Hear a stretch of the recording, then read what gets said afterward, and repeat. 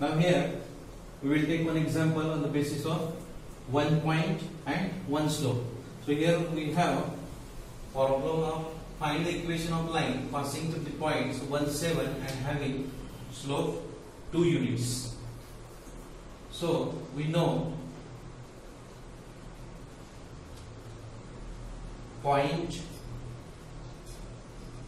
and slope form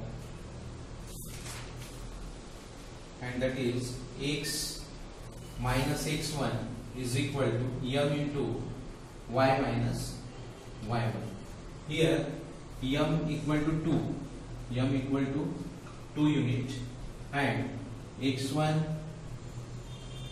is 1 y1 is 7 so we have to put these three values in the equation of line. This is the equation of line in the form of slope and point so x minus x1 is 1 is equal to m is 2 y minus 7. Now simplify it.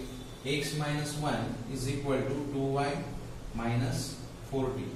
So take this 2y minus 4 on left side. We will get x minus 2y plus 30 equal to 0. Ah.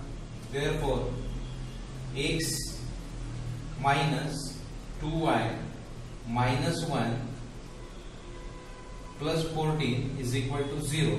So it becomes x minus 2y minus 1 plus 14 plus 30 is equal to 0 and this is the required equation of line required equation of line passing through one point and slope.